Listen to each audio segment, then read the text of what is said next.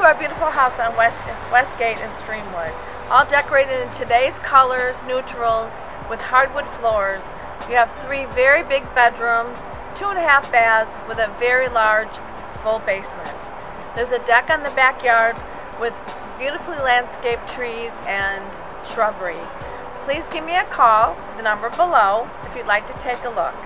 And I hope you enjoy the tour.